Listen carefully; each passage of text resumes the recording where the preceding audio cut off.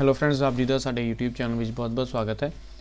ਅੱਜ ਦੀ ਵੀਡੀਓ ਦੇ ਵਿੱਚ ਅਸੀਂ ਐਨਟੀਟੀ 8393 ਪੋਸਟਾਂ ਦੀ ਰਿਗਾਰਡਿੰਗ ਇੱਕ ਨਵੀਂ ਅਪਡੇਟ ਡਿਸਕਸ ਕਰਾਂਗੇ। ਆ ਤੁਸੀਂ ਦੇਖ ਸਕਦੇ ਹੋ ਐਜੂਕੇਸ਼ਨ ਰਿਕਰੂਟਮੈਂਟ ਬੋਰਡ ਦੀ ਵੈਬਸਾਈਟ ਤੇ ਕਿਨਾਂ ਨੇ ਨਵਾਂ ਲੇਟੈਸਟ ਸਰਕੂਲਰ ਪਾਇਆ ਹੈ। Public notice regarding postpone of exam for pre primary teachers mean to say ਜਿਹੜੀਆਂ 8393 ਪੋਸਟਾਂ ਨਿਕਲੀਆਂ ਸੀ, ਉਹ ਐਗਜ਼ਾਮ ਇਹਨਾਂ ਨੇ ਪੋਸਟਪੋਨ ਕੀਤਾ ਹੈ। ਹੁਣ ਆਪਾਂ ਇਹ ਪੂਰਾ ਨੋਟਿਸ ਡਿਸਕਸ ਕਰਦੇ ਹਾਂ।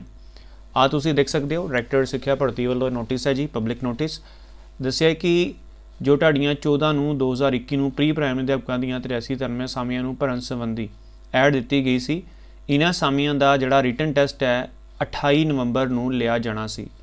But due to high court civil writ petition number ਦੱਸਿਆ ਹੈ 18921 ਆਫ 2021 ਕੇਸ ਲੱਗਾ ਸੀ ਅਤੇ ਹੋਰ ਰਿਟ ਵਿੱਚ 18 11 2021 ਠੀਕ ਹੈ, ਇਹਦੇ ਅਕੋਰਡਿੰਗ ਨੂੰ ਕੀਤੇ, ਠੀਕ ਹੈ ਜੀ, ਹੁਕਮਾਂ ਦੇ ਸਨਮੁਖ ਇਹ ਲਿਖਤੀ ਪੇਪਰ ਅਗਲੇ ਹੁਕਮਾਂ ਤੱਕ ਮੁਲਤਵੀ ਮੀਟੂ ਸੇ ਪੋਸਟਪੋਨ ਕੀਤਾ ਜਾਂਦਾ ਹੈ। ਮੀਟੂ ਸੇ ਜਿਹੜੀ ਰਿਟ ਪਟੀਸ਼ਨ ਲੱਗੀ ਹੈ, ਕੋਰਟ ਨੇ ਆਰਡਰ ਦਿੱਤੇ ਹੈ ਪਾਰਟਿਕੂਲਰ ਠੀਕ ਹੈ, ਜੋ ਵੀ ਪ੍ਰੋਸੈਸ ਹੈ ਨਾ ਦੀ, ਇਸ ਕਰਕੇ ਜਿਹੜਾ ਇਹ ਤੁਹਾਡਾ ਪੇਪਰ ਹੈ ਪੋਸਟਪੋਨ ਹੋ ਗਿਆ ਹੈ। ਇਸ ਸੰਬੰਧੀ ਜਿਹੜੀ ਭਰਤੀ ਲਿਖਤੀ ਟੈਸਟ ਹੈ, ਜਦੋਂ ਵੀ ਹੋਣਾ ਹੈ ਆਫੀਸ਼ੀਅਲ ਵੈਬਸਾਈਟ ਤੇ ਦੱਸ ਜਾਵੇਗਾ, ਇਸ ਕਰਕੇ ਆਫੀਸ਼ੀਅਲ ਵੈਬਸਾਈਟ ਨੂੰ ਵਿਜ਼ਿਟ ਕਰਦੇ ਰਿਹਾ ਕਰੋ। ਬਾਕੀ ਦੇਖੋ ਜੀ ਫਰੈਂਡ ਜੇ ਤੁਹਾਡਾ ਟੈਸਟ ਦਸੰਬਰ ਤੱਕ ਹੋ ਗਿਆ, ਤਾਂ ਹੋ ਗਿਆ ਨਹੀਂ ਤਾਂ ਕੋਡ ਆਫ ਕੰਡਕਟ ਲੱਗ ਜਾਣਾ ਹੈ, ਜਿਹੜਾ ਤੁਹਾਡਾ ਪੇਪਰ ਹੈ ਨੀਅਰ ਅਬਾਊਟ ਅਪ੍ਰੈਲ ਤੱਕ ਚਲੇ ਜਾਣਾ ਹੈ। ਠੀਕ ਹੈ। ਬਾਕੀ ਇਹ ਹੈ, ਬੱਚਿਆਂ ਨੂੰ ਕਾਫੀ ਟਾਈਮ ਮਿਲ ਜਾਣਾ ਪ੍ਰੈਪਰੇਸ਼ਨ ਦਾ, ਬਾਕੀ ਤੁਸੀਂ ਆਪਣੀ ਪ੍ਰੈਪਰੇਸ਼ਨ ਠੀਕ ਹੈ ਜੀ, ਪੂਰੀ ਰੱਖੋ।